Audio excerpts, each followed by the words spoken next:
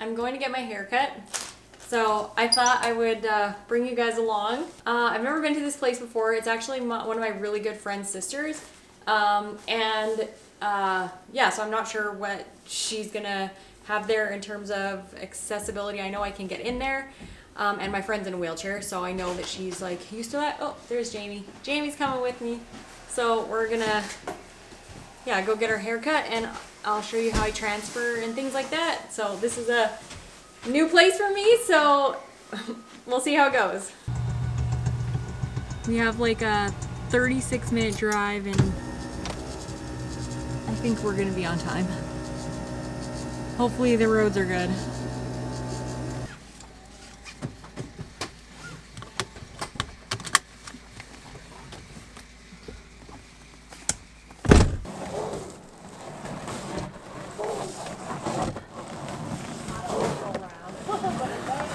Yeah, it's it's a ramp, so that's better than nothing.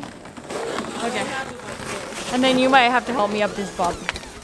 Want to pop up? Yeah. Oh.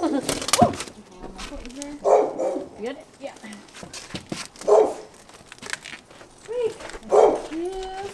No jumping. Really excited. I don't want They're not. That's how we say hi! Is it bump to the back of the chair?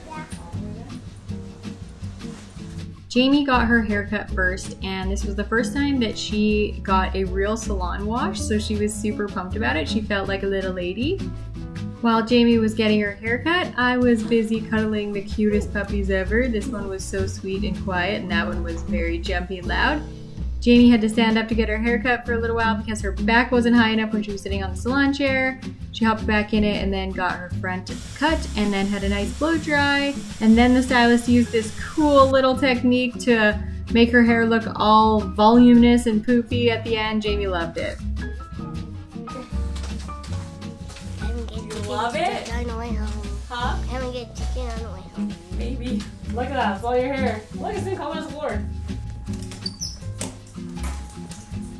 floor. Oh my. He's like done. It's done. You made, like, we thought Wingy was fast. You made Wingy look like a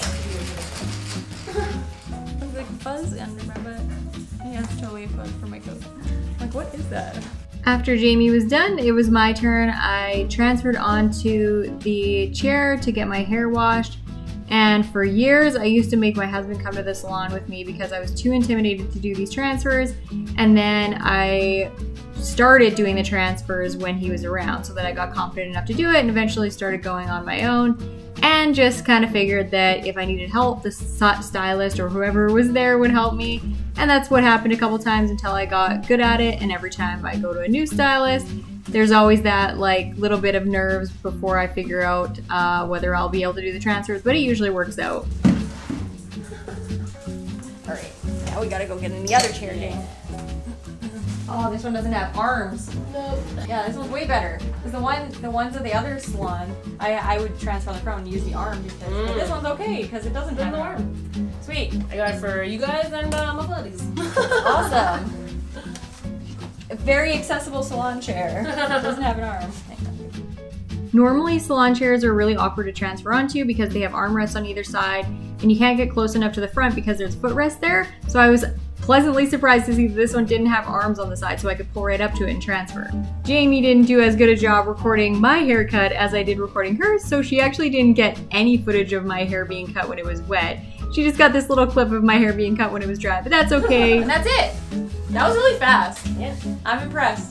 Do you know like what brand of chair this is? I'm gonna put this in like the. I, I old. I think Oh. it's from the 80s. Okay, it's like never mind. There's no brand, but whatever chair doesn't have arms is like Yeah. more wheelchair accessible. So if there's a salon watching this, Yes. uh, get one that doesn't have arms.